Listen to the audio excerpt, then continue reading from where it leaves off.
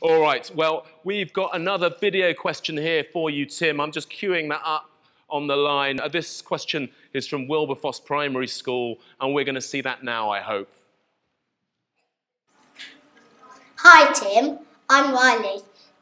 I am five years old from Wilberfoss Primary School.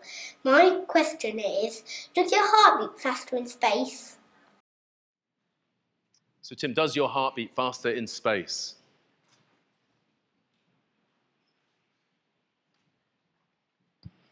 Riley, that your heart beat faster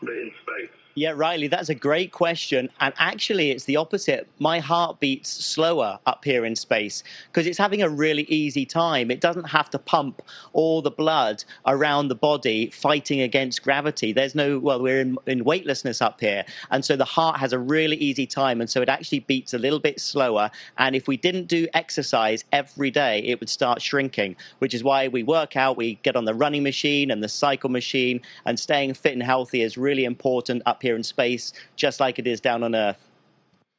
Fantastic, and fantastic question there.